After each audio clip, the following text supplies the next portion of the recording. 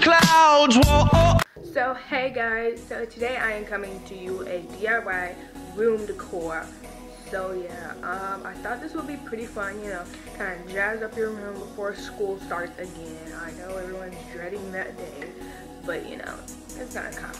But um, that's beside the point. So today I'm just gonna show you a couple of DIYs and I hope you love them. Wow, that sounds strong. I hope you like them. So let's just hop into this video. So here's what you need. Uh, cardboard, razor, tape, string, magazines, pins, and scissors.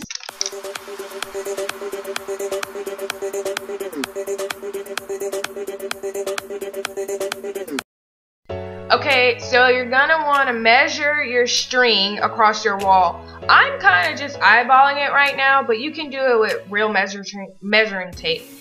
And you're also gonna need to trace the heart for the string.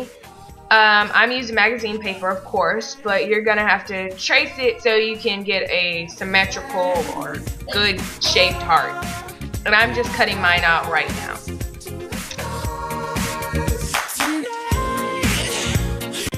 Gonna want to hole punch it. I'm sorry that the screen is a little dark, but that's basically what I'm doing in this scene. Final step is to bring the string through the hole of the heart, and the more hearts you put on the string, the more cool it'll look because of all the different colors. Bigger, better,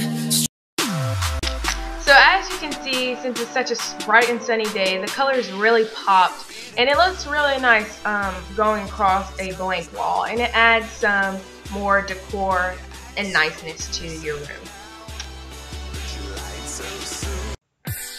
Next um, DIY, you're going to need old magazine paper. So what you're going to want to do is crush it. And using cardboard, you're going to stick the crushed paper onto the cardboard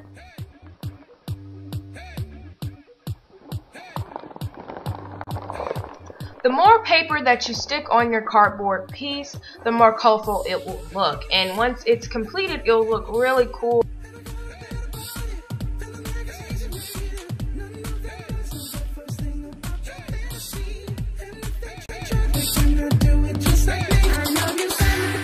Okay, now you're to need some way for this to hang up on your wall. So you're just to want to tape your string onto the cardboard.